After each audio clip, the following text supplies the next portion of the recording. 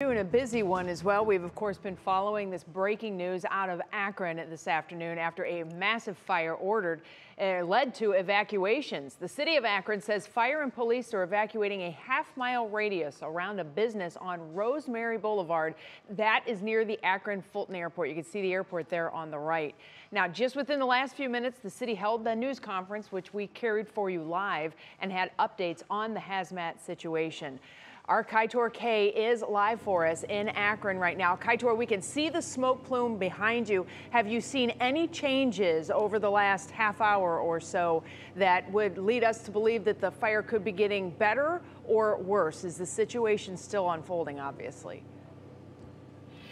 Well, Betsy, what I can tell you is about 45 minutes ago, a loud boom came over from the area of where the plant is, and it was loud enough that standby screamed and jumped. And then at this time right now, we are hearing a constant pop, pop, popping coming out of the plant. So I'm going to step out of the way now so you guys can get a better look of everything.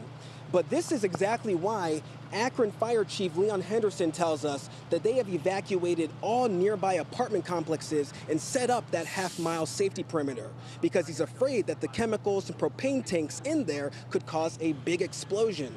The chief says they were called to the scene a bit after 1 o'clock today. He was told that workers in the plant were transporting chemicals when something went wrong, causing the fire to start, and then it set off a ripple effect of more and more chemicals catching on fire. He says, unfortunately, he had to call back all the firefighters from the plant because they were struggling and unable to isolate the flames, and it was becoming too dangerous. The next step in this is try to let it burn itself out from the fuel itself, let the fuel burn, because we cannot risk anybody going in there to basically try to put a hose line on there. Because of the integrity of that building, we had drones up in the air, seeing the infrastructure and the uh, walls inside or the interior walls have been compromised. Once it breaches that other interior wall where those propane tanks are, that's when the explosion will happen.